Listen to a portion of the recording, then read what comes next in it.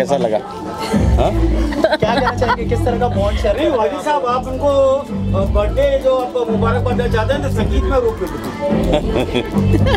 thank you so much okay thank you thank you thank you very much birthday में बहुत अच्छा लगा मुझे and Kasha she is a very dear friend mine and I feel great that today she was born and uh, she's 18 right now. So guys have fun. Enjoy I will always be 18 forever. 18 and 16 exactly. thank you thank you so any much. Song you would like to dedicate no thank you so much. Miss Asia आपसे तो पूछना बेकार है कि आपने कौन सा birthday मना रही हैं लेकिन ये बर्थडे पे आप कैसा एंजॉय कर रही हैं क्या फील कर रही हैं आप? नया क्या करना चाहती हैं? मैं अपने बर्थडे पे हमेशा एक्चुअली स्वीट 16 महसूस करती हूँ।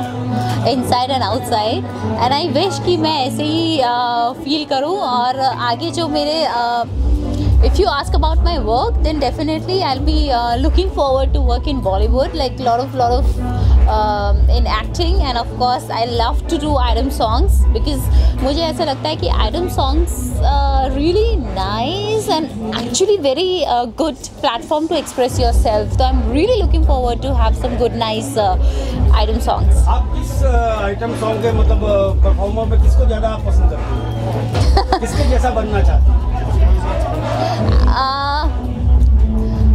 अपने बॉलीवुड से बात करें तो मैं आइटम नंबर में मलाइका अरोड़ा सिंह या मलाइका अरोड़ा की जैसा बनना चाहूँगी और इंटरनेशनली बात करें तो शकीरा जैसा because I know lot of belly dancing तो ऑफ़ कोर्स मैं उनको एज ए इंस्पिरेशन अपना देखती हूँ। What about uh, your acting talent? आप एक्टिंग एक्ट्रेस भी बनना चाहती हैं तो आप आपका कौन आइडल है? कौन किसको आप ज़्यादा पसंद करती हैं? प्रियंका चोपड़ा मेरी आइडल हैं जिनको मैं अपनी आइडल मानती हूँ बिकॉज़ मुझे ऐसा लगता है कि शायद उनके जैसा हार्ड वर्क और उनके जैसा पेशेंस लेवल जो है अगर मेरे अंदर उसका 20 परसेंट भी आ जाए तो मैं बहुत बहुत कुछ अचीव कर सकती हूँ। Right,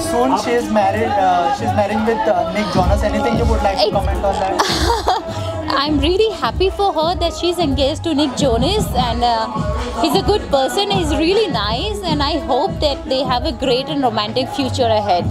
Coming back to your birthday, any any wish you would like to fulfill in your new year and, and you are entering in. You know what इंसान की ज़िंदगी में हमेशा इच्छाएं बढ़ती रहती हैं बढ़ती रहती हैं लेकिन हमेशा अपनी क्वालिटीज़ को देख, अपने दिल को देखना चाहिए कि आपका दिल कहाँ है और आप किस काम में अपना मन लगा सकते हैं। तो उसी में आप बढ़ते रहिए बढ़ते रहिए और अपने आप को प्रॉस्पर करते रहिए। यही मैं कह सकती हूँ। बाकी तो मोह माया है।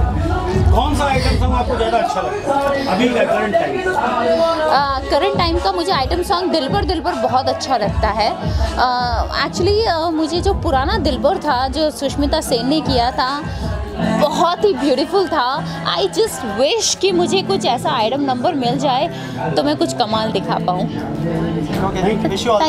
Thank you so much